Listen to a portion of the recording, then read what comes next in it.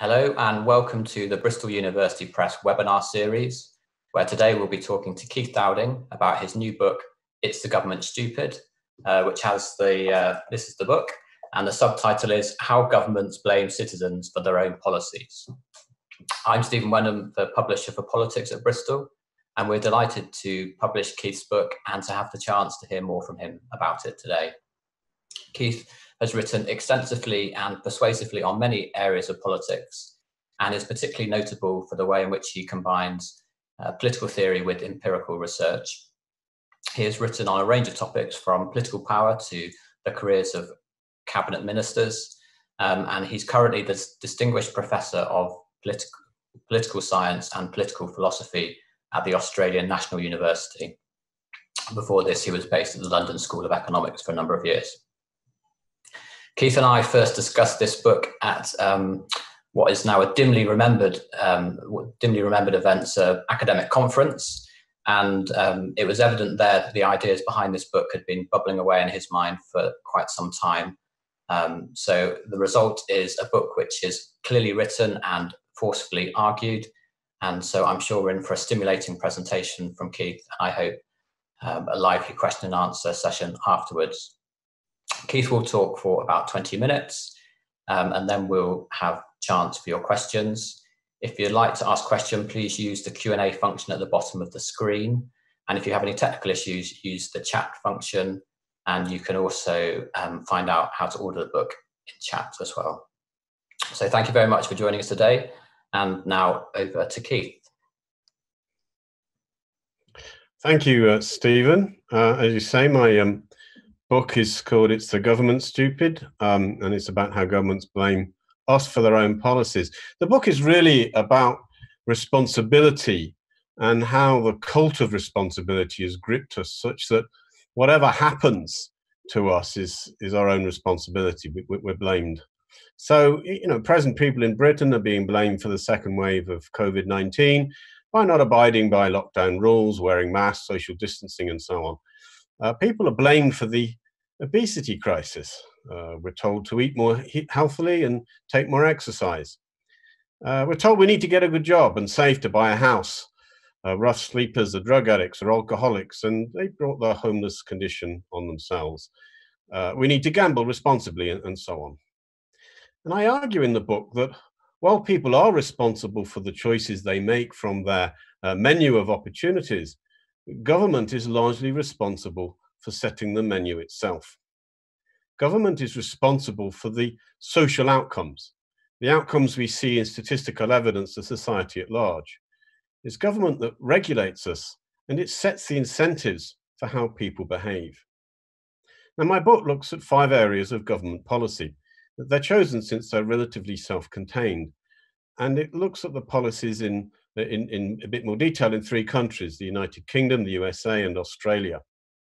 The five issue areas I look at are gun crime, obesity, housing, gambling, and recreational drugs.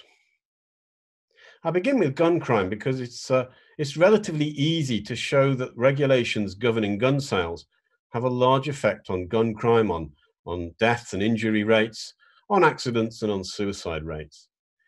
Of course, that book talks a lot about the USA, and many people outside of the USA think that their gun regulations are far too lax. But politicians there continually blame gun crime on bad guys or irresponsible gun ownership. In the US, from 2014 to today, about 14,300 people die each year from gun injuries. About 2,000 of these are under the age of 17, and about 675 per annum are under the age of 11. With about 22,600 people uh, injured annually, and with gun related accidents, uh, incidents at about 55,000 per year, these are enormous numbers. Now, I argue that we know we can reduce murders, suicides, accidents, and injuries from firearms with stricter regulations. In the USA, the precise regulations uh, uh, uh, governing gun sales vary from state to state, but only for automatic weapons are they subject to similar regulations we find in other countries. In the USA, there is no firearm registration. dealers must keep registers of their sales, but private sales are allowed for which no records need to be kept. And while some states require a permit to carry guns, others do not. Now, regulations over guns vary across other countries. But what we see from these regulations is that some seem to matter. Background checks on mental health, criminal records, and records of domestic violence. These matter. Good character references are required in some countries and they seem to have a marginal effect.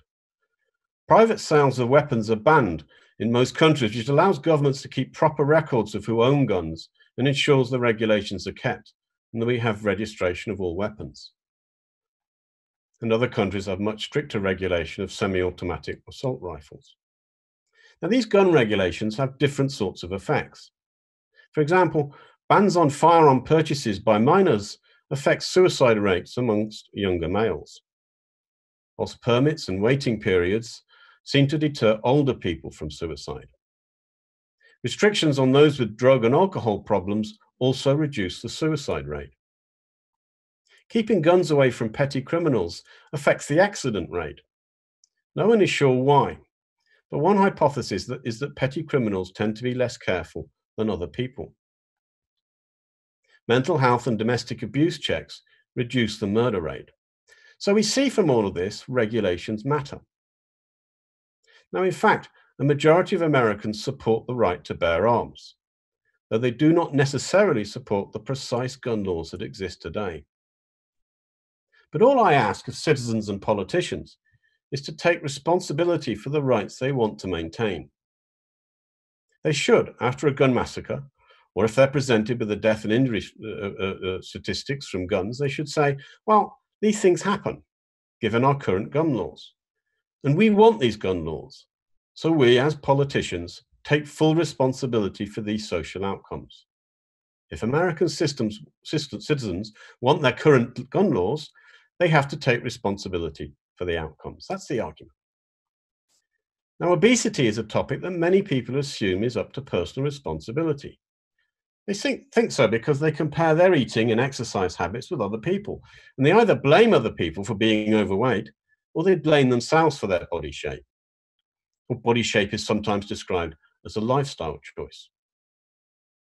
However, we, however, we have to ask, why has obesity become a problem over the past 50 years? Again, let's think of some figures. Around 28% of the British population is officially obese, with another 35% overweight. Obesity is estimated to reduce life expectancy by about two years, and by, by about eight to 10 years for those with a BMI of 40 or more, that's a body in, uh, body mass index. The estimated cost to the National Health Service are about £5 billion per annum and to the economy of about £17 billion. Now, year on year increases in obesity in the population correlate with about a 15% increased calorific intake. And this is largely due to in the increased consumption of grains, added fats, and sugars, mostly due to canned fruit and sugar sweetened beverages, SSBs, as they're known. Now, high calorific intake is associated with SSBs, not only because they're highly calorific, um, well, indeed, some of them are not, but they give um, a heightened sweet alertness to frequent consumers who then consume greater um, quantities of high calorie solid food. And there are also replacement effects with SSBs. Consumers drink less water and milk, and they eat less fresh fruit. Now, why is there increased consumption of SSBs and, highly, SSBs and highly processed foods? Why has it increased so much over the last 50 years? Well, there's two reasons. First, they're more readily available. Secondly, their price has dropped enormously relative to healthy food. While the price of food overall has fallen around 15% in the last 30 years, the price of fresh fruits and vegetables has risen by about 120%, fish by about 75%, and dairy products by about 55%. So the drop in food costs is explained by big falls in meat, prepackaged and prepared foods, and soft drinks. Now, the problem is caused in part by food manufacturers finding out what appeals to us. And some of this is due to our evolutionarily developed tastes. Sugar is actually highly addictive and quite hard to quit if it's consumed in large quantities. Other additives increase the length of, uh, of, of food shelf life, but decrease the length of human life. And we can't blame food manufacturers for putting in these additives and adding these sugars, and designing food which appeals to our evolutionarily developed tastes. They're in a competitive business, and they develop their products to appeal to us because they're in competition with each other. Now, my book argues that government needs to regulate such additives, ban trans fats, as some countries have done, tax sugar and other sweeteners, salts and additives. Now, Britain has made some moves in this direction, but they're not enough. The blame for the obesity crisis I lay at the door of lax government regulation over food manufacture. Blaming obesity on personal responsibility is particularly pernicious. This is a form of individual fat shaming. But the obesity crisis is the government's responsibility. Now, another chapter I have is on housing. And the modern housing crisis has also arisen from government policy. In the past 50 years, government has seemingly got out of the business of providing low cost social housing, while fiscal policy has fueled house price inflation. It is biased towards owning rather than renting properties. Homeowners are subsidized relative to renters. Now, we've seen from the 1980s the right to buy policy in the UK uh, reduce the amount of social housing. Removing rent control was supposed to stimulate the private rental market and encourage house building. But builders and private renters prefer to provide properties at the mid to top range of rents, and social house builds have fallen. Governments provide strong incentives for people to buy property, both for second or holiday homes for rent. In Australia, the incentives for borrowing and to claim tax write offs give strong incentives for buying property to rent to such an extent that investment gains from property mean that people are prepared to buy properties and leave them empty. These policies ha have caused, in the UK, for example, house prices to rise fourfold in real terms in the last 40 years. Rents too have skyrocketed. Affordability has dropped dramatically, with only around 30% of new households able to buy in the last decade, compared to 45% in the mid 1980s. Today, for the first time in the post war period, young people are less likely to ever own their own home than were their parents. In Australia, over 15% of taxpayers are now landlords, collectively losing the Commonwealth, the Australian government, nearly $8 billion in tax write offs. Since 92% of such investors buy existing properties, they do little to increase the supply of affordable housing, but they contribute instead to the almost 1 million unoccupied dwellings in the major cities. That's equivalent to 11% of housing stock. In fact, there's more than enough housing for all Australians currently living in the country, and more than enough even in areas where most of the homeless dwell. When it comes to rough sleepers, again, the government does little to help. Alcohol and drug problems are associated with rough sleepers. But it's been shown in, Swinland, Swin, in Finland, for example, that getting people into accommodation helps them to overcome addictions, to clean up, to get a job. The policy in the UK is the opposite. People are expected to clean themselves up before help is provided with housing. This is asking too much of people. So, in all these areas, I'm saying that we tend to blame people, we put responsibility onto citizens, but government policy is really the root cause of the social problems. And my other two examples are a little bit different, and in part are designed to challenge my thesis gambling laws have been relaxed. And in doing so, they've created a great, greater number of problem gamblers. Now, I largely support this relaxation of gambling policy. A lot of people get pleasure from gambling. There's no reason why we shouldn't. But I argue that government regulation is misdirected. One problem is that much of the research on gambling is funded by the gambling industry.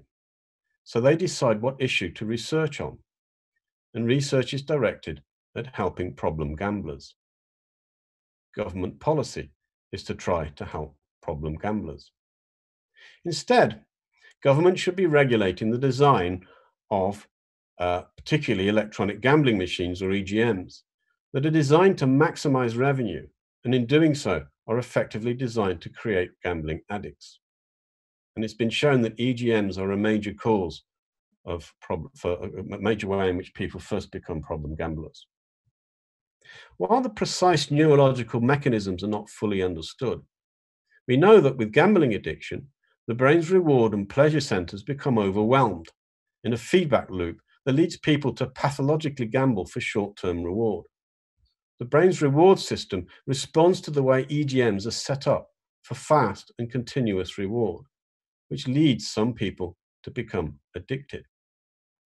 Now, again, the gambling industry knows this. It's set these machines up in order to maximize their revenue. They're in a competitive business. Of course, they do that. But government needs to step in and it needs to regulate the way in which the gambling industry hooks problem gamblers rather than just helping people once they become problem gamblers. Now, recreational drugs is, a, is an area where, again, it's rather different from my other uh, cases. In the other cases, I'm saying that government, in what people would normally see as paternalistic policy, they should do more for people. Whereas in recreational drugs is an area where government is still paternalistic in a, in a manner they're not in my other areas. However, I argue that the war on drugs, as it's been called, has been lost. And I look at evidence that suggests that legalization, along with regulation, might not appreciably increase the number of people taking drugs, but would help us to control drug use, control quality, and better help those whose lives are ruined by them. In other words, I'm saying that what a legalization would do would enable better government regulation.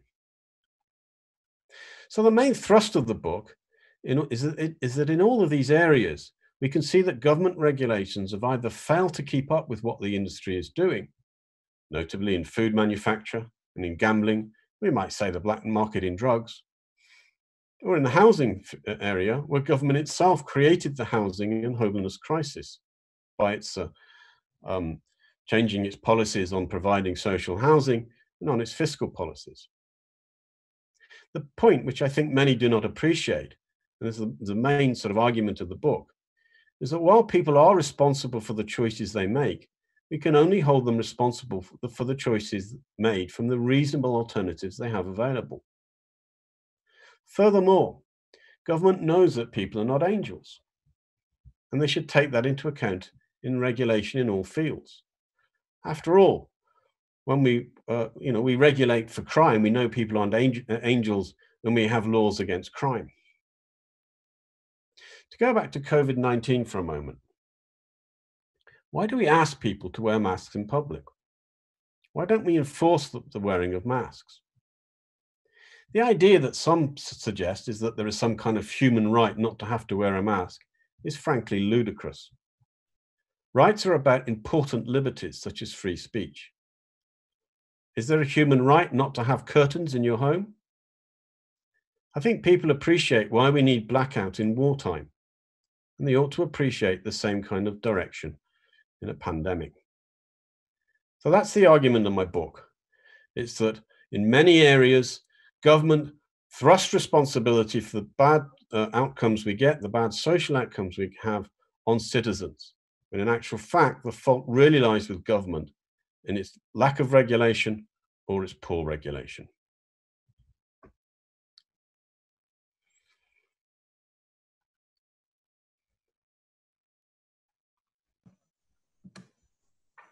Thank you, Keith, for that very uh, clear overview of your book.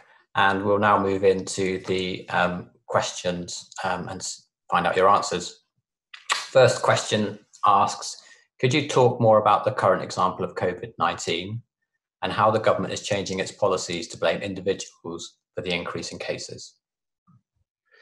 Um, yeah, I mean, COVID is actually quite a difficult um, uh, policy area. I mean, it's a it's a it's a it's an area where um, um, government, uh, when it first arose, uh, it wasn't clear. The experts, science wasn't absolutely clear what we should do. I mean, the first sort of advice was about washing your hands, and then later on, we've been saying, well, um, uh, airborne uh, carrying of COVID is, is more important, and masks are very important. And also, uh, we've had different policies uh, by different countries. Some have had very strict lockdowns and, uh, and others not. We look at the case of Sweden, which is, I think the jury's still out about how bad or good their policy's been. So it's actually quite a difficult area. But you're quite right. I think certainly in Britain, I mean, I have to point out to you, I, I live in Australia, but um, in Britain, it certainly does seem to be the case that government has not had a consistent strategy uh, it's sort of been changing its its mind and had these U-turns, and it certainly seems to be blaming people. And I think it needs much clearer direction. And really, the government does need to take responsibility for the sorts of um, for its policies. And certainly, I mean, the way, way it's happening is they're sort of announcing policies without really finding out whether or not, um, you know, they have the means to implement them um, uh, uh, uh, Johnson was talking about this big sort of testing regime, and it's clearly the case that there's not the resources there to do it. So it is a, it is a major problem, yes. Thank you. Um, next question. Which do you think is worse, the lack of guidance from government in the first three examples, or the uh, paternalistic attitudes in the second two examples? Oh, which is worse?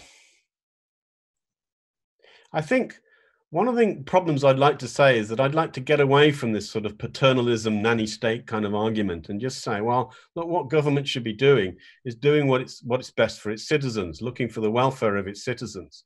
And it should be making those sorts of those sorts of decisions. I th- think in the book I say I give an example of you know if if your child comes home from from school being bullied, um, is saying to the child, well, you've got to stand up for yourself, or is saying, "Oh, let's go and talk to the to the to the head teacher." Which of these is more paternalistic? Is one more paternalistic than the other? I don't see that. You know what government should be doing is trying to uh, develop policies which provide incentives for people to work in ways which uh, are best for them and best for the community as a whole. And I think they're failing to do this in, in certain regards. Part of what the argument of the book is about is that um, we actually do know stuff and that we could be doing better. One of the perhaps um, criticisms of the book, which I try to answer in the final chapter, is actually some of the issues that I'm looking at aren't as clear as I make out. And that might be true. Um, you know, things are difficult. But I think in, in the areas that I've chosen, it's fairly clear what the problems with the with housing is. I do think that it's fairly clear now what the problem with, the, with, with, the, with obesity is. I mean, again, what you find is that there is dispute between experts. Um, so, for example, with obesity, for example, you do find some uh, dispute about what are the worst additives and how far um, it's the, the food we eat and how much the lack of exercise really is make, causing the sort of the degree to which they both create the obesity crisis. But we do know that um, these additives are causing problems. So I think we shouldn't not act because there is some dispute, some marginal dispute over these sort of over these sort of differences. So I don't want to, to say that while government's worse in one area rather than another, it should be more paternalistic, should be less paternalistic. I think we need to look at what good regulation would be based on the best knowledge that we have. Okay, um, we got two related questions really to do with the way uh, media interacts with government. The first is what percentage of the problem is the way the media reports the government advice and how much control does the government have over the way these stories are reported? Um, and the related question is what steps can be taken to reframe government versus individual responsibility?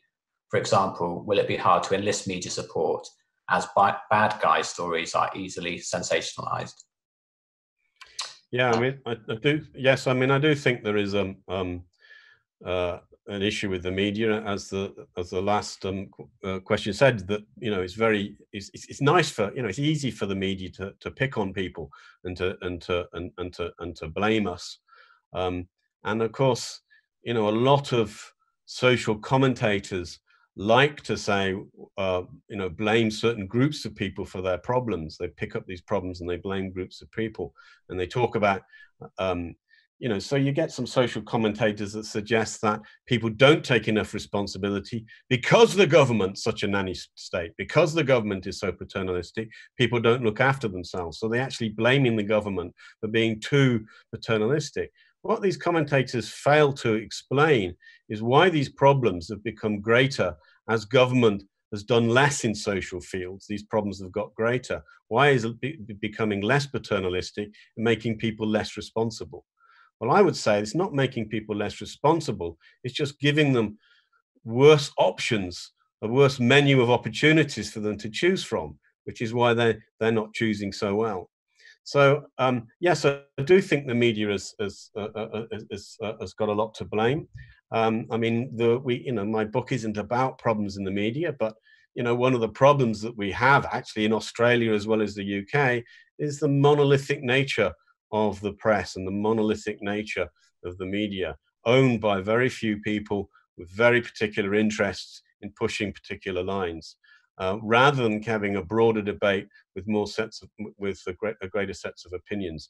I mean, again, uh, you know, we could talk about should there be greater regulation of the media, and um, and I, I would, you know, I mean, the, again, you know, one of the problems what we've had is this sort of argument is we've got to have liberty, we want to have free markets, we want to regulate markets less, but actually. Uh, when markets are unregulated, they tend to become, in many many areas, they tend to become monopolistic. And that's what we've had with the media. And there was a time when government intervened much more to try to ensure that um, markets didn't become so monopolistic and become so dominated by a few um, um, uh, organizations. And that's one of the problems that we have in the media. How do we overcome it? Well, what, what we do is um, people like me write books. You read them you tell everyone what a good argument what a good idea it is.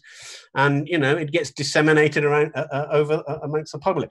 Uh, no I mean, uh, the only only way we can try to overcome this is to talk about it is to argue the case is to challenge you know uh, uh, the media and to say well why are you blaming us? Why aren't you blaming government? Why aren't you doing your job properly? You should be uh, looking and criticizing government and actually looking at what's going on. So that, that's the only way we can do it.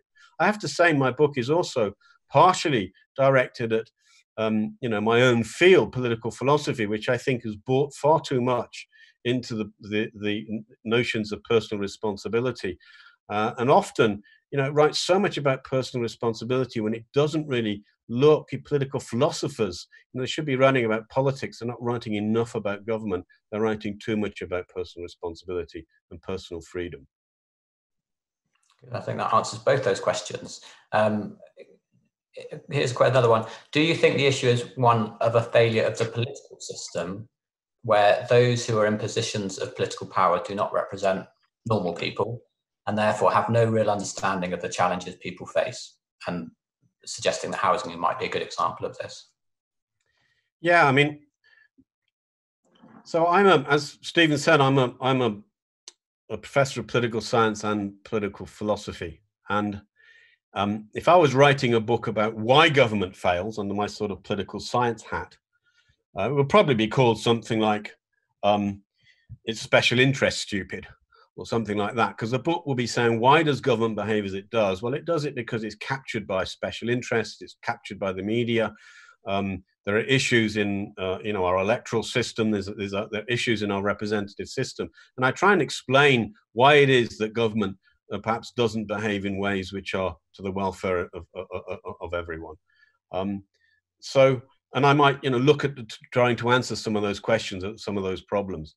This book is really saying that, well, you know, even if we can kind of causally explain why governments don't do as we'd like, um, that doesn't mean they're not responsible. They they can, you know, the, even if, um, uh, I mean, so let's take. Um, I mean, I mentioned um, selling off council housing, the right to buy. It was a very popular policy.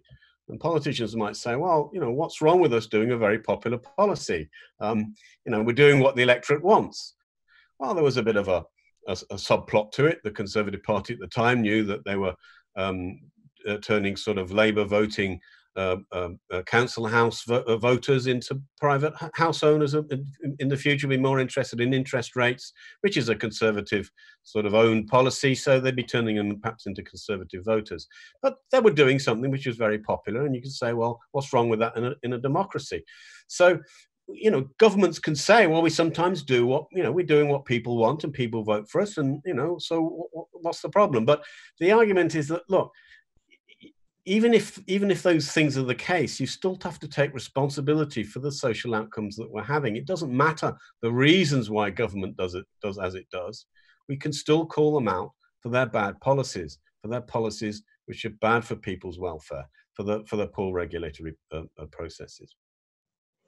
Okay, I think we're coming to um, the end of our time. So uh, we've got a couple more questions here, which um, I'll ask Keith to um, answer as, as briefly as he can, but as interestingly as he's able. And uh, if there are any final questions, do quickly send those in and we'll see if we've got time for those as well. Um, is, is the problem, this question asks, uh, more prevalent uh, in one or more political philosophy. I think it sort of means one political ideology or you know certain political parties, or is it a problem more generally of government rather than of politics? Yeah, I mean, I do think that, there is a sort of um, an ideology which underlies this, which um, is a is libertarianism, the idea of individual rights, individual liberties, responsibility. You, people need to be autonomous. Um, that is that those ideas aren't just I mean, libertarianism is often associated with the kind of political right, but it also infects the political left. And you'll see amongst you know left-wing political philosophers a great deal of, dis- of discussion of personal responsibility and, and you know how we should how you know how government should behave in certain ways, which increases autonomy and increases freedom and uh, and allows people to, to develop themselves as individuals. And that's all very well, but I think there is a problem that in thinking about individual liberty and responsibility so much, we actually lose sight of the fact that government, you know, society actually creates our our, uh, our, our um, choice sets. Society creates the, the the opportunities that we have. Government is a major actor in this, and that's really it should be looking after our interests looking after our looking after our liberties.